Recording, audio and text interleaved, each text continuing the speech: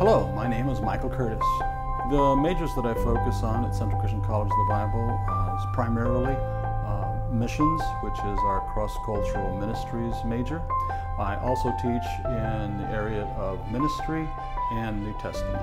I enjoy teaching worldviews and ethics. I like the course because I see that it's challenging to the students about uh, concerning where they are and where they might be challenged to go. My approach in being a professor is actually to be more personal than professional. Um, I want to make sure that my student knows and understands the issues at hand um, and the vocabulary or whatever it might take to be able to, under, uh, to, to get a better grasp of that and then how to take that into their real life.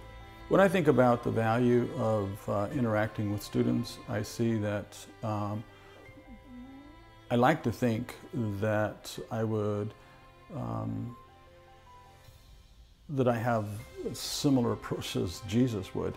In other words, there's the teaching time, but then also there's the lifetime where you actually spend time with the student, that you um, work with them on a one-to-one basis in such a way that we're able to take any of the difficulties that we might have in a lecture or in a class setting and place them in a real life context. Would like to see students understand um, Christ's love and a value of community in such a, in, in such a way that um, they would want to share that with others.